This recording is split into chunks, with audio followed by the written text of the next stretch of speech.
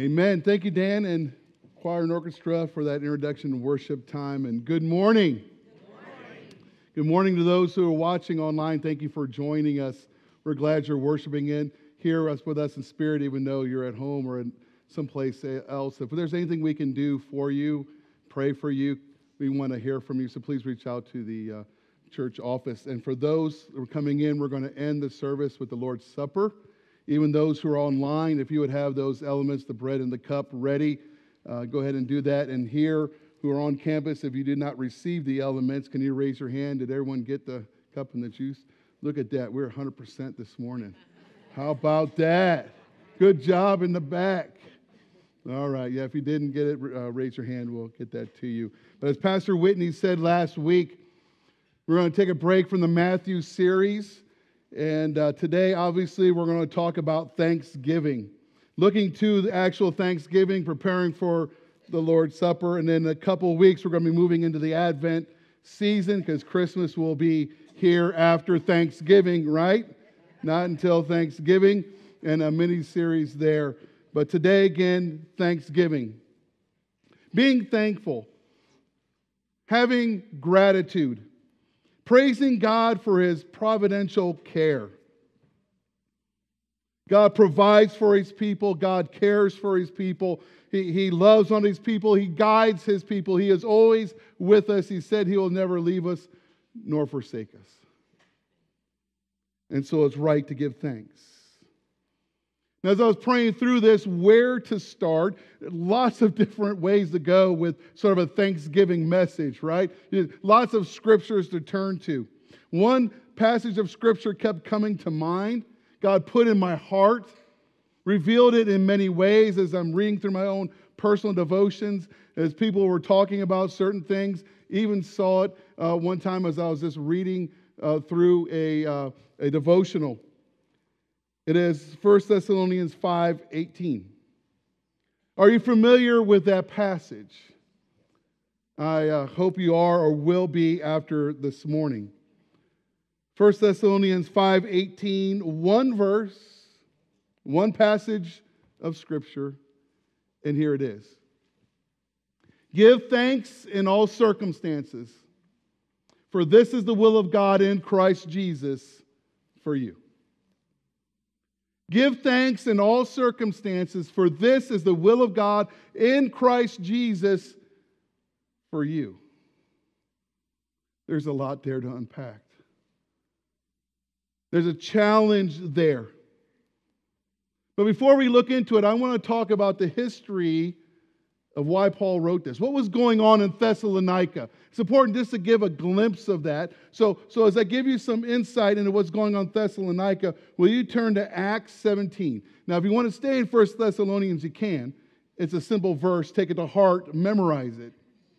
But dog ear it in your Bible, put your finger there, move to Acts 17. What's going on in Thessalonica? What is this city? It's a coastal city in Macedonia. So it's a port city. And it's a main area for those traveling from the east to the west and vice versa. And so it's an important place to put a church. That's why Paul gets there.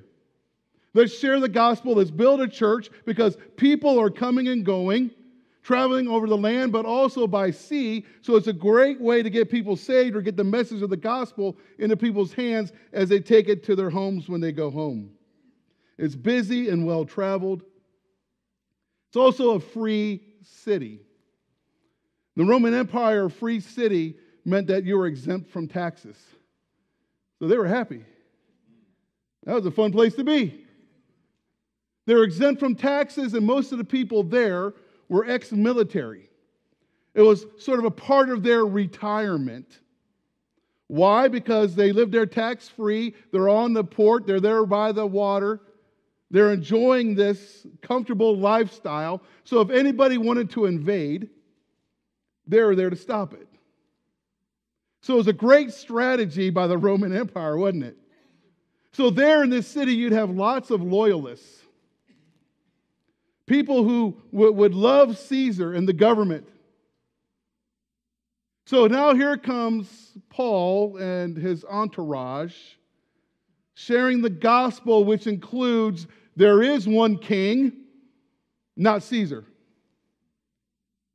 And so that's frustrating. That would raise a lot of eyebrows and get a lot of these loyalists upset. And so they're not liking this message. Because again, they're loyalists. They're going to defend the Roman Empire. And so, in the midst of this, in Acts 17, beginning in the first part there, here comes Paul and his entourage as they come to Thessalonica and they begin to share the gospel. And it says, as the word says, if you have it open in Acts 17, some are getting saved, some are hearing, some are not. That's just normal when you share the gospel. But then it causes sort of an uprising, or they're accused of having an uprising. So we're going to pick this up just in verses 6 through 9 toward the end of this little section. And, and this is what the word says. When they could not find them, that is, when the city officials came out to get Paul and to get these Christians, and they could not find them, they dragged Jason and some of the brothers before the city authorities because they were meeting at Jason's house. So they bring him out before the authorities and they're shouting. These men who have turned the world upside down have come here also. And Jason has received them, and they are all acting against the decrees of Caesar's, saying that there is another king, Jesus. And the people in the city authorities were disturbed. And when they heard, when they heard these things, and when they had taken money as security from Jason, okay, be sure not to preach this gospel or be on your guard. Be careful what you say now. They, they uh, and, and the rest, they let them go. So here is some adversity. Here is problems. There's persecution. There's hostility. And yet, Paul writes to the church and tells them give thanks in all circumstances. For this is the will of God in Christ Jesus for you. They're having trouble preaching the gospel. It's a hostile environment. There's adversity. They're not liking these Christians nor the message that they have. Can't help but think of America today. Who do these Christians think they are? telling us what to do, what's right, and what's wrong, trying to give us moral guidance. Who do they think they are? But you know, sadly, there was a time in our history when believers were looked to to be the conscience of society. Whether they were believers or not, whether they were Jewish or another religion, they looked to the church, faithful evangelical churches. They looked to believers to determine what was right and what was wrong, to be a moral guide. Not so much anymore. So, by God's divine guidance and wisdom, Paul is writing to them and to us, challenging them, challenging us to cultivate a nature, a character of joy in the Lord, no matter what. Develop an attitude of gratitude, to, to possess within our inward man thankfulness. Praise be to God, no matter what. And it begins this section rejoice always, pray without ceasing. Give thanks in all circumstances, for this is the will of God in Christ Jesus for you. The question becomes how can we give thanks in all circumstances? How do we cultivate a nature of the joy of the Lord? How do we develop an attitude of gratitude? Let's pray and jump into it. Father God, we thank you. We thank you that you're speaking to your people. You, we gather here not to hear from me, but to hear from you. Holy Spirit, give us ears to hear and hearts to receive what you have for us this morning. We desperately need to hear from you. This in Jesus' name. And all of God's people said, Amen. First thing is this we must look through our current circumstances to God. Look through your current circumstances to God. Because, see, things happen in life, whether it's busyness or trials or struggles or difficulties, no matter what they are, they, they cloud us from actually seeing God. It blurs our vision, it captures our attention. Someone at the early services told me as they were leaving the day, grew up as missionaries in foreign country, and one time they were in a, a coastal city, a coastal area, and they could look out the window and they could see everything, and it was beautiful. But where they went to in an inner city, in another country, they had bars on the window where they lived. She said, as a little girl, she kept looking at the bars, looking at the bars. It's like, this is weird. This is scary. But she said, you know, God told her to look through the bars and see the beautiful surroundings through the bar. And once she did that, she didn't see the bar anymore. Look through the circumstances to God who is always there. God is constant, God is consistent, God is in control. Remember that. God is always constant, God is always consistent, His nature never changes, and He's in control. Think of God's nature and His character, His promises. Remember the times He's shown up in your life. He'll be consistent. See, develop a strong relationship, a vibrant relationship with the Lord, because everything that we do, everything we are called to do, comes from that relationship. Don't let circumstances distract you. Because it's easy to be distracted, isn't it? Distraction. It literally means something that takes your attention away from what you're supposed to be doing. Something that takes your attention away from what you're supposed to be doing. We're supposed to be thankful to God, praising God, because that's His will for us. Distraction, dis, that means to take away, traction from where you are grounded. In Latin, it literally means to be drug away. You're taken away. So let me ask you do you ever get distracted? Are you distracted now? It's kind of early in the message to be distracted. Is your stomach growling because you're ready for lunch? Mm-hmm. Is he too loud? A preacher, I can't hear a word he's saying. It's too soft. Uh, it's too cold in here. Will you turn to your neighbor and say, Don't be distracted? Somebody doing that. Don't be distracted. Wake up. Because it's easy to be distracted. Driving with a cell phone, right? Distraction. Yeah, ooh, don't do that. But you know what I noticed? The hands free is just as worse. You know why? Because I'm a preacher, I use my hands. So I'm driving, I'm talking, and I might have the phone in my hand, but I'm doing like this. That's still distracted. You talk with your hands. You reach for your coffee. Where's it at? You spill it. Oh, where's it going? You miss your, your turn. You're trying to flip the radio and you push it on the steering wheel and it goes too fast, too slow. But then you say, Look, pronghorn, aren't they pretty? Whoa. You get distracted. In the office, we used to call it shiny things.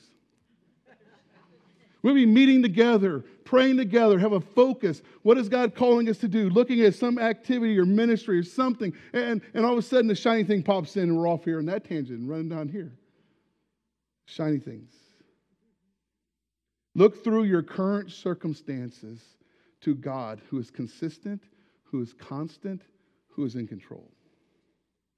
Your circumstances change, and it may take time, but your circumstances, they change, but God never does. Joseph in the Old Testament, he was the favorite son, right?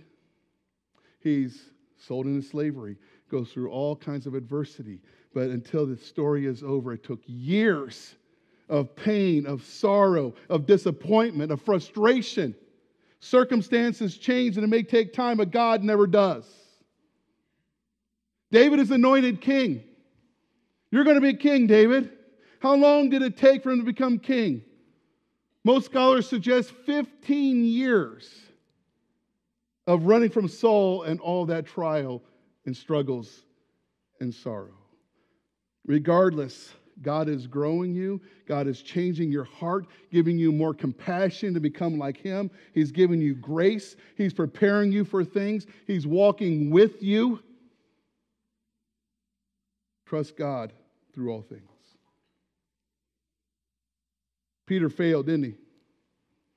Peter's called to walk on the water. The man's walking on the water. He's looking right at Jesus. I'm coming to you. This is cool stuff. And then he begins to see, look at the waves, look at the winds, and he begins to look at the circumstances, not his Savior and Lord, and he begins to drown. David was distracted, right, with many things. But when a time when kings are out at war, he's at home and he's distracted by this beautiful woman he keeps seeing. Mary and Martha, so the word says Martha was distracted by housework. Now, I'm not saying live in a dirty house. So don't hear what I'm not saying. But where are our priorities? Is it more important to clean the house or sit at the feet of Jesus? Is it more important to spend time with family and friends and build relationships? Or to make sure the chores are done. Look through your circumstances to God who remains consistent, constant, and in control. Keep your eyes on the road. Keep your eye, as the Bible says, on the prize. But two, understand that it's God's will for you to give thanks in all circumstances. It's God's will for you to do that. God wills that you do that. We often ask as believers, and, and rightly so, what's God's will for my life? What's God's will for me at this time? What am I supposed to do? So I want to commit to you a book, Emerson Eggerichs. I gave it to a friend to read, and he has it. It's called The Four Wills of God. The basic premise of this book is to say this. In the Bible, there's four times where God says this is God's will, and this is one of them. The whole premise is He says, start here, get these four wills right, and the others will fall into place. The Four Wills of God by Emerson Eggerichs. He's most popular for the Love and Respect book that Karen and I teach here at the church. If we get those right and start here, everything else falls into place. This is God's will for you. This word for, for will is the thelema, which means will. It's God's desire. God has a purpose for you to give thanks. Why? Because He wants to change your heart. He wants to teach you. He wants to use you. He wants to grow you and mature you that you may see Him in a different light that you may see him and he is glorified. But it also has the understanding of a choice or a determination. So, in other words, God's desire for all believers is for us to make the choice, to determine in our hearts that we will give thanks in all circumstances. This is God's desire that you draw near to Him and praise Him and give Him thanks. This will warm his heart and he will be glorified. It also brings blessings and he changes you. He prepares you and he uses you. Look to God, submit to God as he prepares you for what's ahead. He knows we just follow him along the journey. He's growing us, maturing us, and wants to use our story to impact the lives of others. Number three, make time to thank God for all things, starting with the good things of life. Starting with the good things of life. Do you thank God for the good things of life? Do you take the time to give Him thanks? When, things are favorable, when life is favorable, when life is good, do you pause to give Him thanks? This should be easy, but sometimes it's not. Do we take the time to do it? Thank God for the blessings that we do have. How many of you woke up in a warm house this morning? Did you? Yeah? Maybe you have a cheap husband like me. Maybe not as warm, but it could be worse. Yeah? Yeah, uh, see, you drove here in a car, did you not? Yeah? I didn't say what type of car, right? But you drove here in a car. You went to work this past week, did you? Or some of you are enjoying retirement. Yeah, I see that smile already. I got you, okay? I get it. Praise God and thank God. How about the people in your life? Your spouse, your children, your grandchildren, your friends, your church home, your Sunday school class, your life group. There are people in your life who bring you joy. There are people that you can count on in tough times that you can turn to when you have questions, when you need a hug. Give thanks for them. There are people in your life that are going to rejoice with you when you rejoice and grieve with you when you grieve. Give thanks to God for these people. Do you know Jesus as your Lord and Savior? Give thanks for the peace and His presence that's with you, that your eyes have been opened up and you see and that you have hope because of the Lord. You see, when we think of giving thanks in all circumstances, our minds tend to drift to the negative, don't they? The difficult and trying times, and we'll get there, but let's start with the easy stuff. The story told in Luke 17 actually happened. It's not just a story. Jesus is traveling from Samaria and Galilee, and he encounters 10 lepers. And they come up to Jesus, and because they have to stay together, they have to stay outside the camp. And they come up to Jesus, Jesus, please have mercy and, and heal us. Please, Jesus, heal us. And he heals all 10. And he sends them on their way. But only one, a Samaritan, comes back to give him thanks and praise. This is what Jesus says. Jesus answered, We're not 10 cleansed. Where are the nine? Was no one found to return and give praise to God except this foreigner, a Samaritan? And he said to him, Rise and go your way. Your faith has made you well. This is the will of God to give thanks. Be the one who comes to God and says, Thank you, God. If no one else will, I will. I will give you thanks. I will praise your name. Be the one who will come back no matter what the other nine do or what the other nine say. You be the one who understands James 1:17. Every good and every perfect gift is from above, coming down from the Father of lights. Pause and give God thanks for who you are, what you do have. And now we turn to the trying times, right? Give thanks to God in the trying times of life. Ever gone through a trying time? Ever have difficulty? Ever have struggles? God says, give thanks in these, in these moments, while you're in them, not just when they're over, not when you get through them. Yeah, give thanks then, but you know what? While you're in them, give Him thanks. Why? Because He's with you. God is counting you worthy. God wants to teach you and grow you and mature you and use your story to impact the life of somebody else. Because it's not always about us, it's about God's glory. Romans 8 28, and we know that for those who love God, all things work together for good, for those who are called according to his purpose. Back to Joseph in the Old Testament. Karen and I are working through this in our morning devotions. Sometimes we read it, sometimes we have it played and we listen to it as we're getting ready for work in the morning.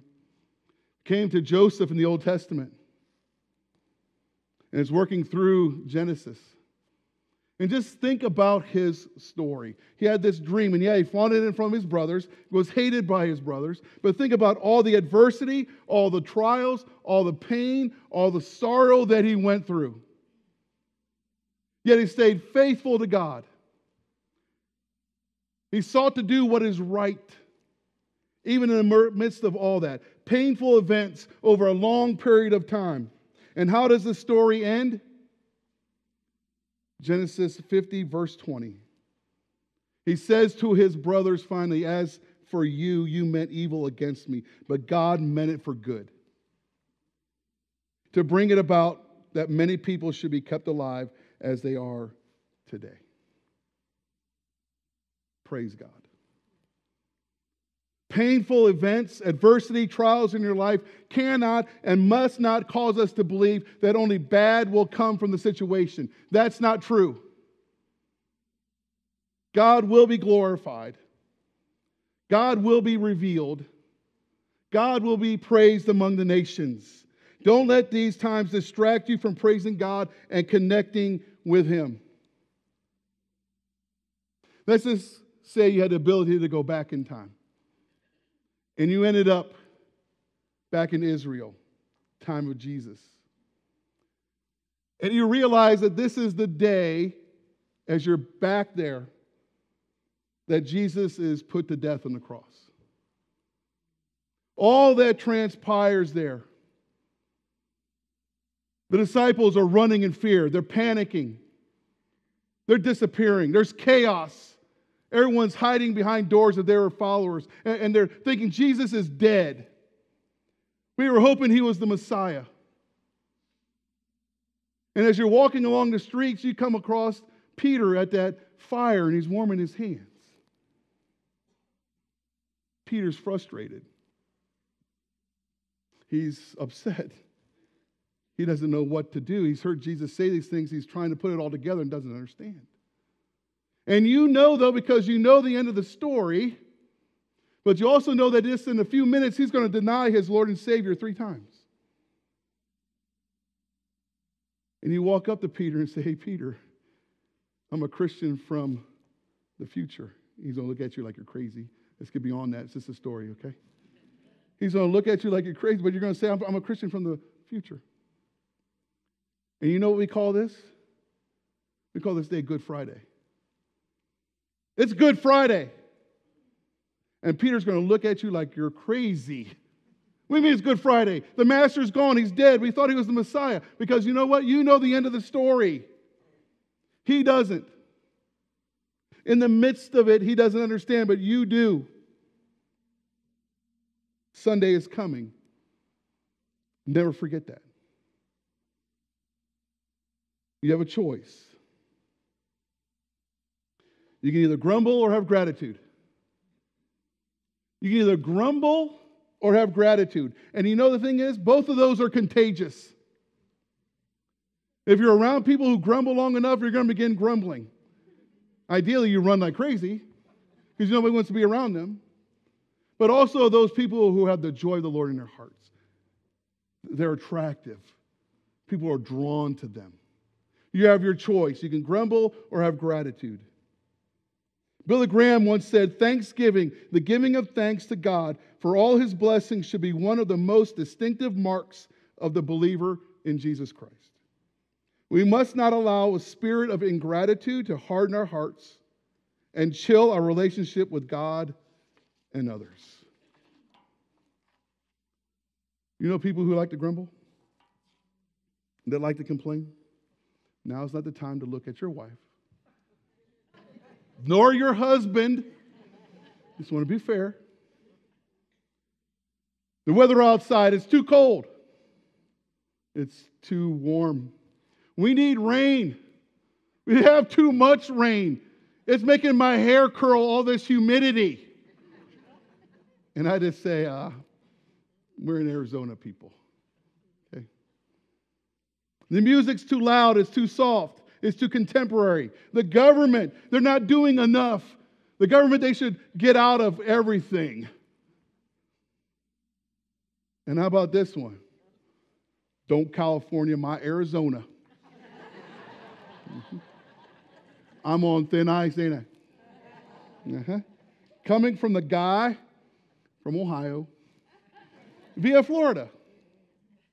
This in fairness.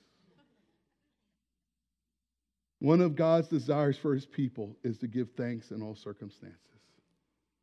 This is the way it's written. It means no excuses, no exceptions, literally in panti in Greek, in connection with everything that occurs.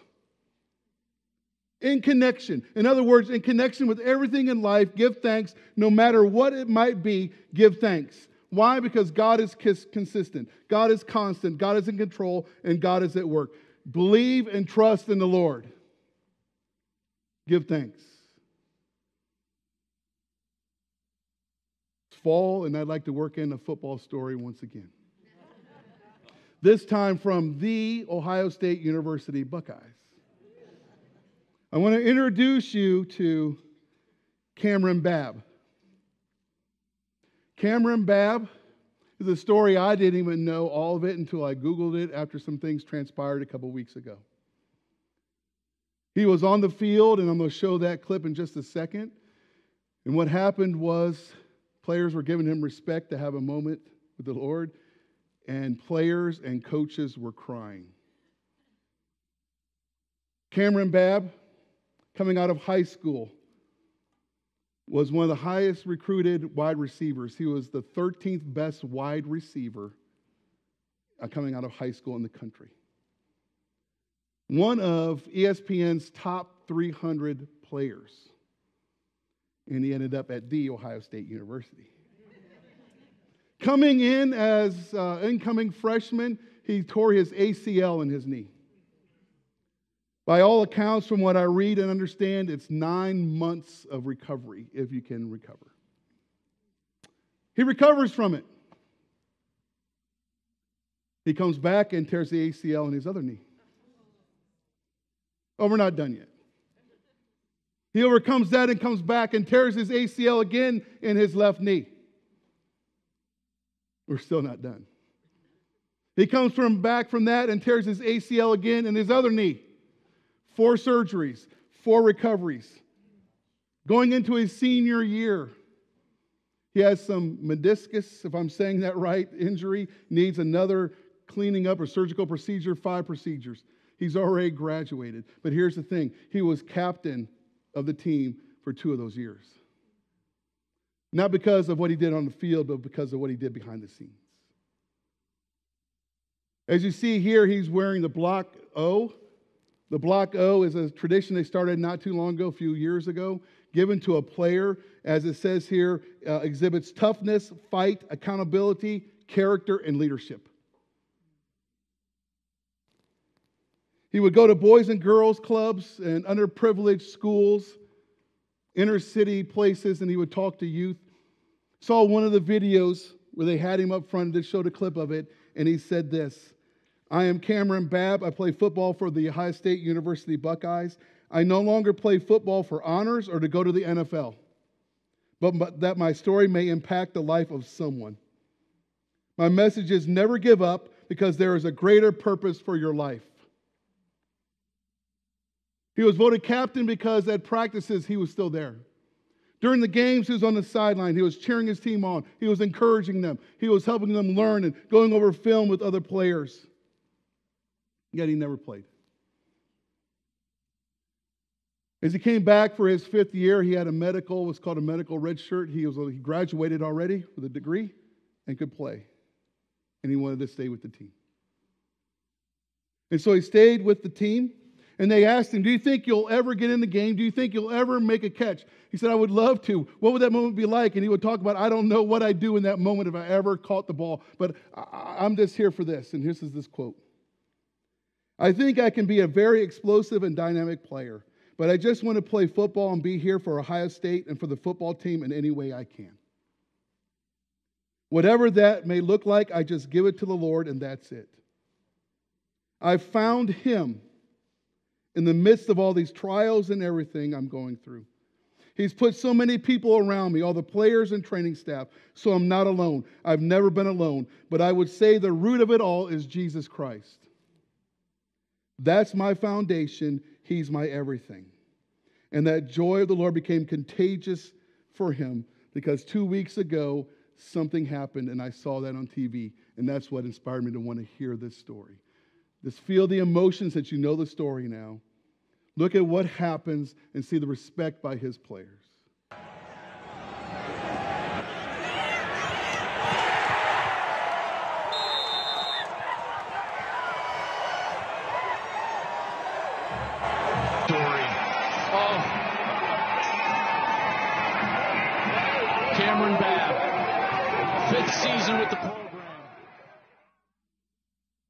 Offensive player of the game, one catch, one touchdown.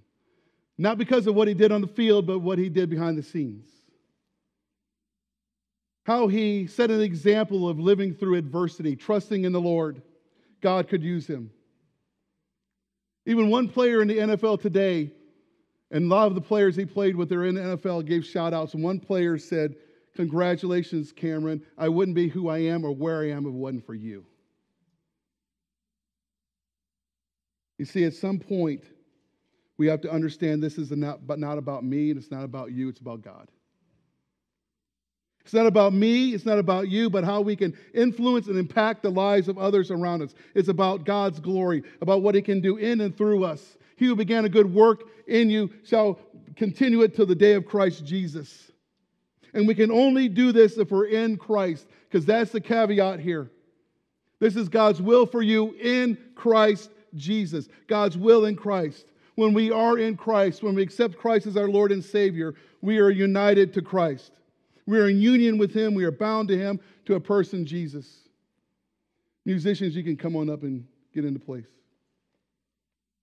See, when we accept Christ, He becomes our strength, He becomes our courage, our power, if we are in Him. In Christ, we are loved by God with an inseparable love. So, believer, give thanks. In Christ, we are forgiven and we are redeemed. Give thanks. In Christ, we are justified before a righteous God, not because of what we have done, but because what He has done. So give thanks. In Christ, we are a new creation. The old is gone, the new has come. Give thanks. In Christ, we have received all the promises of God. Give thanks. In Christ, we have been sanctified, we have been made holy, and God continues to do His work in and through us so that we may become more like Christ. Give thanks. In Christ, we have eternal life. Give thanks. To Paul, he writes, Rejoice always, pray without ceasing, give thanks in all circumstances, for this is the will of God in Christ Jesus for you.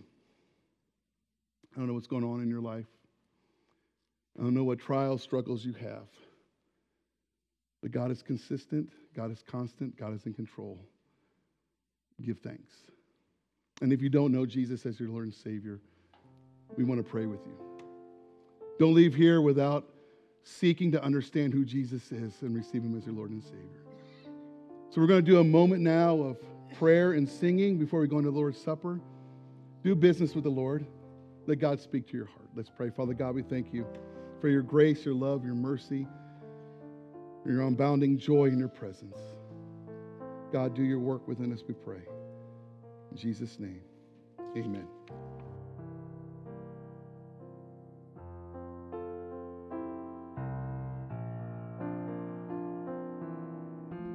Come just as you are. Let's sing it together. Come just as you are. Hear the Spirit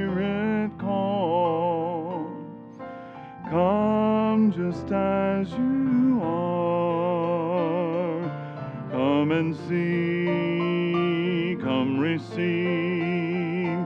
Come and live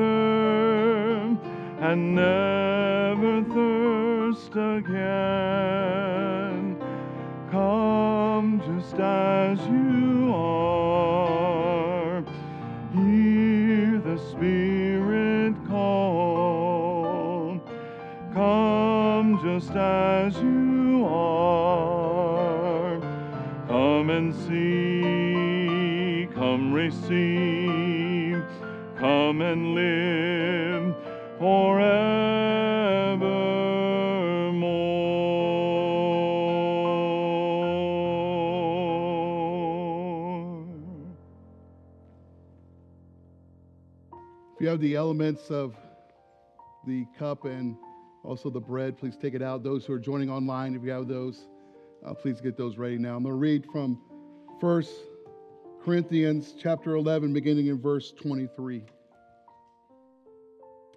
Paul says, For I received from the Lord what I also delivered to you, that the Lord Jesus, on the night he was betrayed, he took bread. When he had given thanks, he broke it and said, This is my body, which is for you. Do this in remembrance of me. The same way also he took the cup, and after the supper, saying, This cup, it's a new covenant in my blood. Do this as often as you drink it in remembrance of me. For as often as you eat this bread and drink this cup, you proclaim the Lord's death until he comes. Father God, we thank you for special moments like this. God, that you would draw near to us right now and search our hearts, search our minds. God, reveal anything that is not of you. God, may we confess it, repent of it, and turn it over to you. God, in this moment, we remember your sacrifice. We are thankful for you, Jesus. You are our purpose, our peace. Thank you for the joy that you bring to our lives. Jesus, we recognize you as the Savior, and we know that you gave yourself up. No one took your life, you offered it. Your blood was shed for our forgiveness. And because you live, we live too and shall live eternally. Praise in Jesus' name. Amen.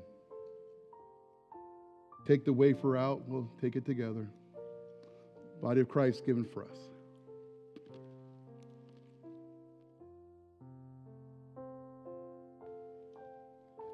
Flip it over. We have the cup. He said, This is the cup shed for the forgiveness of sins.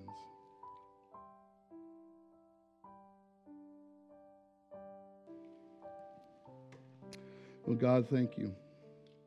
As we remember your sacrifice, we commit to live for you, to leave this place transformed and changed by your presence and your love.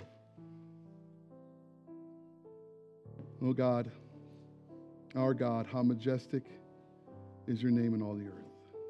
Praise in Jesus' name. Amen. I invite you to stand as we conclude our time together singing Amazing Grace. Just a reminder.